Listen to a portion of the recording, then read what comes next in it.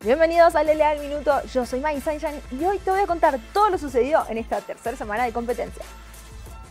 Estral y Movistar R7 continúan imparables, mientras que esta semana Isurus y Leviatán han perdido terreno. El que tuvo buenas noticias fue Six Karma de la mano de Seiya, quien sumaba su primera victoria. Hablando de la ola verde, te recomiendo el juego contra Infinity, en el cual jugaba KZ en reemplazo de Wild Lotus. A pesar del cambio, los dirigidos por Jetty cerraban la serie en un contundente 2 a 0. Estral y Movistar R7 con 5 puntos, mientras que Isurus y Leviathan se estancan con 2 puntos. Ya en el fondo de la tabla tenemos a Six Karma, All e Infinity con un punto. La serie de Six Karma vs Isurus fue reprogramada, por lo tanto te recomendamos estar atento a nuestras redes sociales para que no te pierdas esa fecha.